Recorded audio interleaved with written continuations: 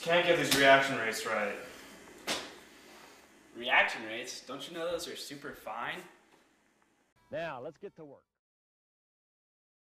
Reaction rate is equal to change in quantity over time. Average react. That's the same freaking thing, Dean!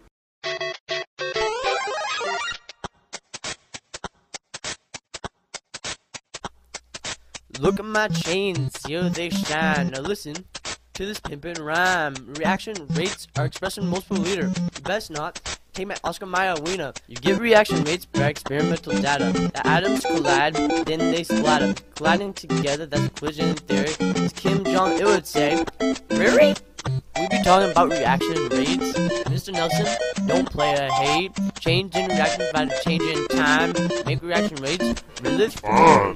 Ions and atoms must collide to react. Jenny Espero, you better watch your back, cause Nathan's about to attack with that HCl all over your head. Then you'll have to go to the med. Ickle clinic. Don't be trying to mimic this flow. Cause I'm a pro.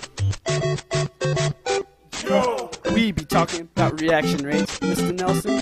Don't play a hate. Change in reaction divided by change in time. Make reaction rates Really fine. I got them 16s on my 91. Reaction rates are number one. The relationship between the rate of a chemical reaction and the concentration of a reaction is called Rate law. Just know this for the test and it'll take you far. Rate is equal to K times A. This is true at all times of the day. We be talking about reaction rates. Mr. Nelson, don't play a hate. Change in reaction divided by change in time makes reaction rates really fine.